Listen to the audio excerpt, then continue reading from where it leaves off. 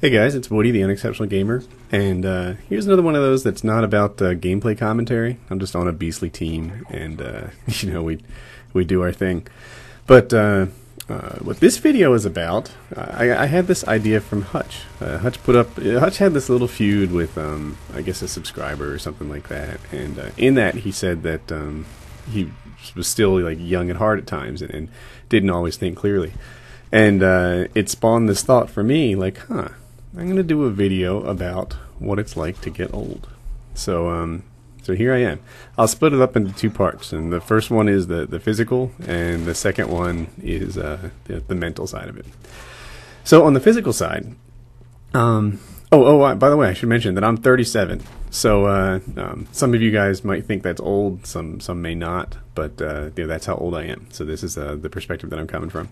On the physical side, so I was pretty athletic uh, growing up, and uh, um, it, one of the neat things about uh, you know being young is that every year you have this expectation that you will be more athletic than the year before, and that continues longer than you might guess. So if you're 16, you might think your athletic peak is like 18 or so, but it, it is most definitely not. You know, you won't find many um, like high school football teams that beat college teams. Uh, your athletic peak is later than that, and um, so you might be like, all right, well, my athletic peak is at like 22 or, or something along those lines.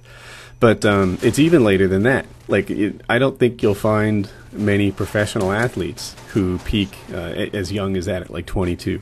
Most of the guys, you know, they think about when guys turn in uh, the best years of their career.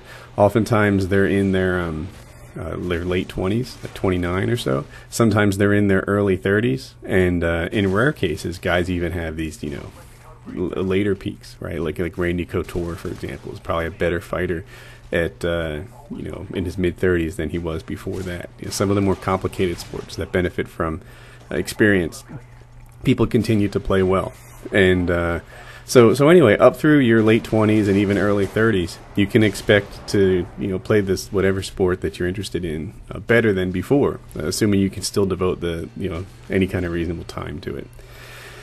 Um, so so that's the uh, the physical side. There's more to it though. Um, one of the the changes that I start to notice is not so much that I've lost a step, but um, uh, although you know at 37 you kind of do. You know that that you start to you know maybe not be the same athlete you were before somewhere in your early to mid 30s. You know 32, 35. But um, another thing that hits is your recovery time.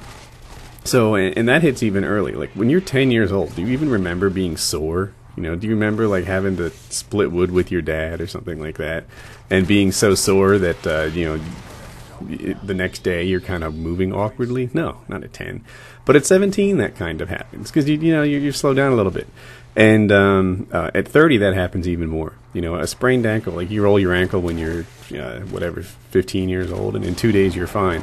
You roll your ankle when you're thirty years old, and in two weeks you're fine and that's like a different thing. You know, it, it takes a little while to um, you know to heal up, and uh, you know that that's the recovery time on exercises, and that's also the injury time on you know whatever it is you've done to yourself.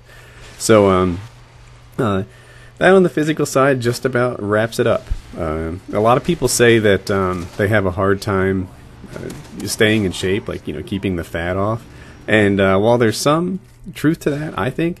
Uh, another part of it is I think lifestyles change around 30. You know, like, oh, yeah, I was skinny until I hit 30. Yeah, well, you know, did you also stop exercising or you know, change your eating habits? Did you go easy on yourself for snacking? Um, you know, don't uh, don't forget the other things that lead to being fat. It's not just age, partially, but uh, it's not just age.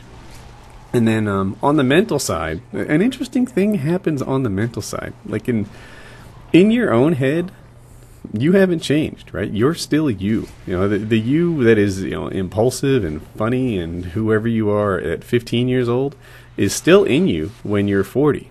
But, um, you know, it, it seems crazy, right? Because your parents aren't anything like you. Your, uh, it, your parents are old and dull and, and not there. But, um, you know, I promise you, inside your parents' head, um, they're also, you know, kind of young at heart. They also enjoy being immature. They also, you know, like these things. So, uh, another thing that happens is, so I'm 37. When I see a guy who's, let's say, 12 years younger than me, a guy who's 25, um, let's go the opposite direction. 12 years older than me, a guy who's 49. I think 49. Whoa, whoa, that guy's old. He's like almost 50. He's 49. He, uh, you know, I have nothing in common with a guy like that. He, uh, he'll be dead soon. And what'd he do? Did he fight in Vietnam or World War II? You know, that that's crazy old. But um, I'll look at a guy 12 years younger than me who's like 25 and think, yeah, yeah, we're the same. You know, he and I, we're, uh, you know, we're about there in, in terms of you know interests and things like that. But um, uh, there are differences. And uh, one of them, and this ties back into what Hutch was saying, when you're older, it's a little easier to sort of take things in stride and think it through and, and think before you react and have a little more perspective than um, than you know when you're younger. So I, I, think when you're younger, it's a challenge to uh, you know hold your emotions in and, and not react really really quickly.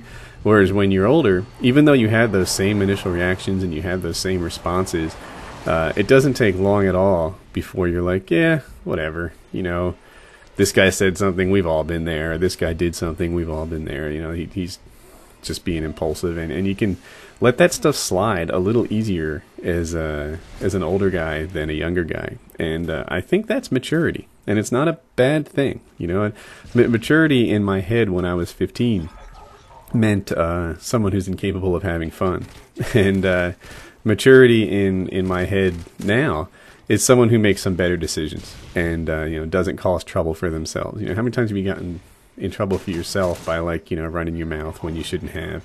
Um, that stuff goes away a lot when you get older. You know, you, you kind of tone down all that talking, all that judging, and uh, and respond to situations a little bit better.